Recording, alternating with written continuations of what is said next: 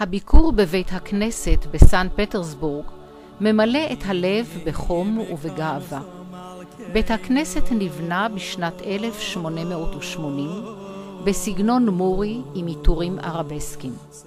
הוא עבר שינויים במשך השנים ושופץ כפי שהוא נראה כיום בנדיבותה של משפחת ספרא ומוקדש לזכרו של אדמונד ספרא. הוא נחשב לבית הכנסת השני בגודלו באירופה, עשיר ומהודר מאוד בעיצובו.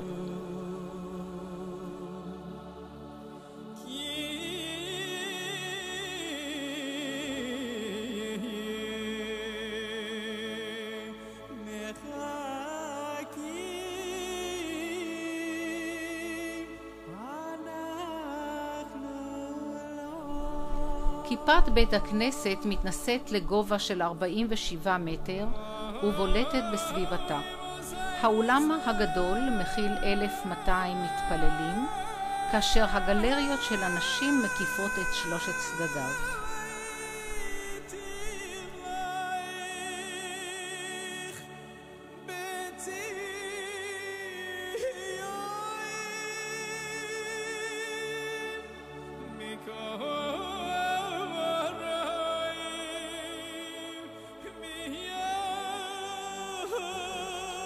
מצויים בו גם אולמות קטנים יותר לתפילה וללימוד תורה, ואפילו חופה קבועה לחתונות.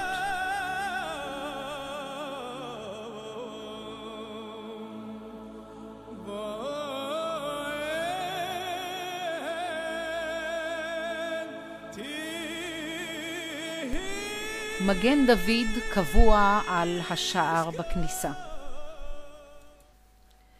בדרכנו מבית הכנסת לאלכסנדר ניבסקי לברה, עצרנו ליד אחת הקתדרלות היפות, קתדרלת סמולני, ולידה מנזר סמולני.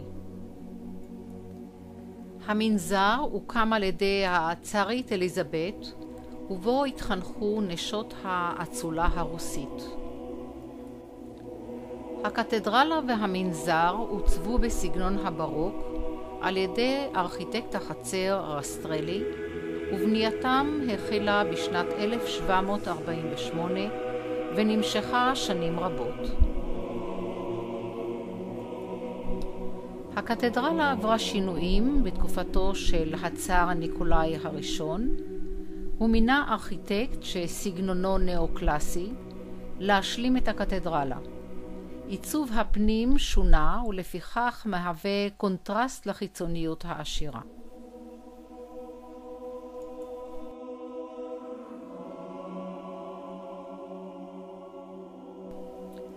בבית הקברות במתחם אלכסנדר ניבסקי מצויות מצבותיהם של גדולי התרבות והאומנות הרוסית. מצבותיהם של מלחינים חשובים, ציירים וסופרים, שיצירותיהם שזורות בהיסטוריה התרבותית של האומה.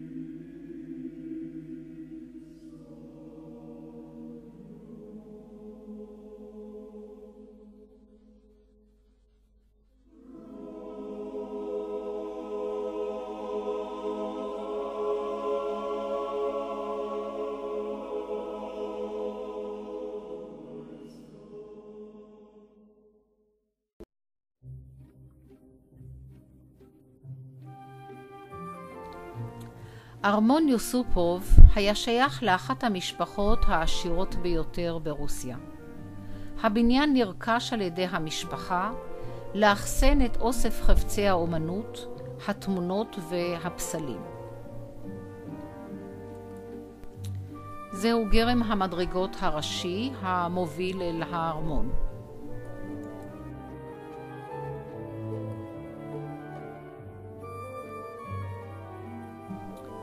שולחן עשוי ברונזה מוזהבת, מעוטר בפסיפס אבני חן. ורצפת פרקט בעיטורים דקורטיביים שונים.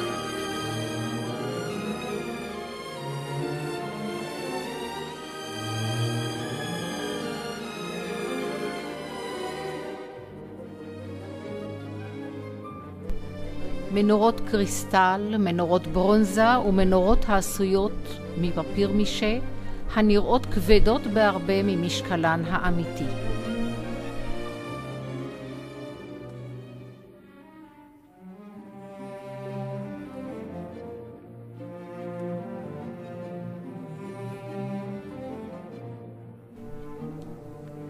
מבין החדרים הרבים בארמון בולט במיוחד באקזוטיות שלו וביופי החדר המורי. הוא מקושט במוזאיקות צבעוניות, קשתות, ויש בו גם מזרקה.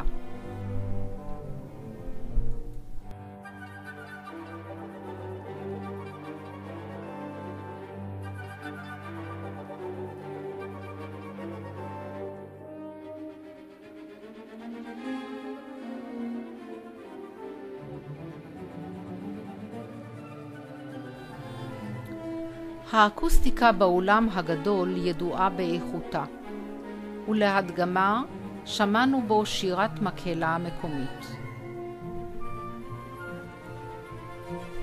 התיאטרון בארמון מעוצב בסגנון הרוקוקו, עשיר במיוחד ומלכותי.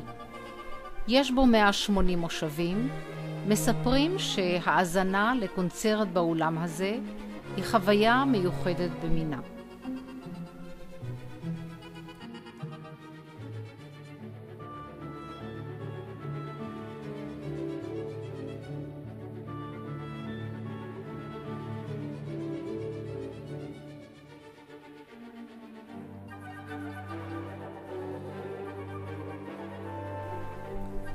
במרתף הארמון נרקמה המזימה לרצוח את רספוטין, שהייתה לו השפעה רבה על בית המלוכה בתקופת ניקולאי השני.